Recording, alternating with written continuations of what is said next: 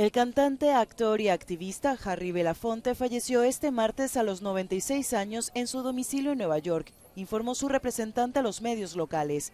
Su voz áspera y de gran impacto le convirtió en el rey del calipso, y su carrera tanto en el cine como en la música estuvo marcada por el compromiso, la protesta y la necesidad de justicia.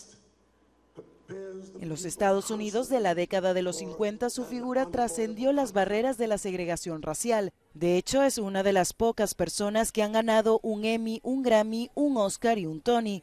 Belafonte también se distinguió por defender los derechos de los afroamericanos, participando y financiando el movimiento por los derechos civiles hasta su muerte. En su vida personal se casó en tres ocasiones y era padre de cuatro hijos.